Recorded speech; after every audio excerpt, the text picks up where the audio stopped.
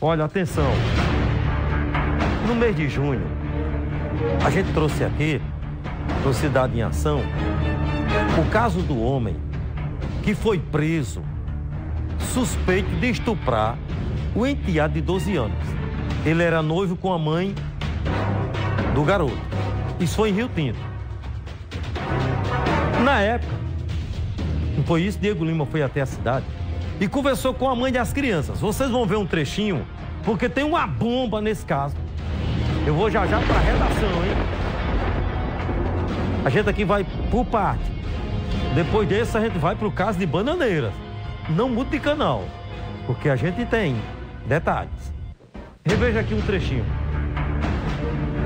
Eu cheguei do aeroporto de São Paulo, cheguei em Recife, ele tinha ido ficar durante a câmera. Era só para ver a minha filha durante o dia, quando eu não estava em casa. E outra questão que teve.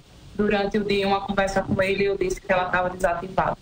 Eu só queria deixar um recado para a população que eu escutei muita coisa, né, que estavam falando, mas aquelas pessoas que me apoiaram, o que eu digo a vocês é que vocês vão andar de cabeça erguida, porque Deus é o Pai da verdade e eu vou provar ela, tá? E aquelas que estavam contra mim, eu entendo, porque até para mim é difícil acreditar que isso aconteceu. E eu não guardo nenhum ressentimento. E a senhora amava ele? Sim, de verdade. E, e qual o conselho que a senhora dá para as mães, que estão assim, numa situação parecida com a senhora, que tem é, um namorado, um noivo, às vezes traz para dentro de casa. Eu não, eu não diria que eu vou dar conselho a alguém, eu só diria que eu não sei se eu voltarei a acreditar em alguém algum dia, né? Mas. No ser humano, a senhora está perdendo a crença no. Isso, isso. Ele demonstrava ser uma pessoa muito honesta boa, com a senhora. Muito boa. Era perfeito não tinha como desconfiar de nada. Quem vivia ao nosso lado sabe da nossa relação. A senhora tem convicção, não tem dúvidas não que ele abusou? Eu não tenho dúvida nenhuma. E, o que, é e a senhora pede justiça? Eu peço justiça e a justiça está sendo feita. Eu posso desconfiar naquele dia que eu estava em São Paulo, é, a trabalho, eu desconfiei naquele dia, então é, botei a câmera para alarmar. E quando alarma, inclusive eu tenho essa conversa com ele. Quando alarma, ele manda o áudio para mim perguntando por que fez isso. E eu digo, ah, deve estar desativada. Vou olhar, a vista desativou. Então ele acreditou nisso, né? E ele acredita nisso, que estava desativado. Ele acreditou, então o advogado dele disse que não tem prova porque não sabe dessa bomba. Não, se ele disse o que o advogado dele disse. Ah. Aí o Cleiton saiu da prisão. Foi preso, o noivo dela foi preso, acusado de estuprar a criança de 12 anos, o filho dela. Ele foi preso. Aí a nossa equipe esteve na casa dele e falou com ele. Certo? Falou com ele sobre as acusações, depois que ele saiu da prisão. Coloca aqui. Fui buscar ela no aeroporto de Recife, tudo normal, conversando normal. No meio do caminho ela começou as acusações.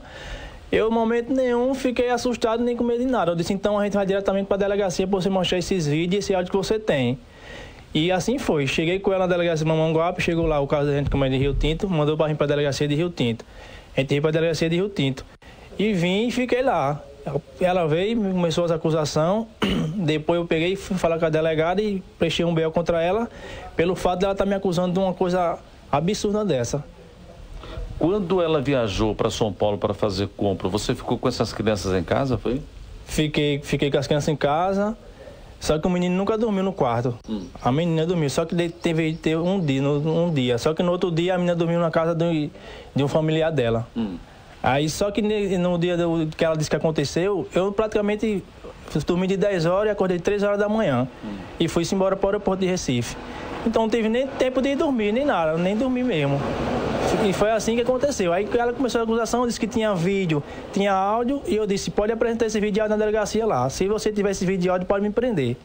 E até hoje, depois de 11 dias, esses vídeos, esse áudio que ela que tem não apareceu ainda. Peito, há quanto tempo você tinha convivência com essa mulher? Fazia sete meses que eu estava com ela. E sete meses, bem vivido, é, achava que estava vivendo com a mulher da minha vida.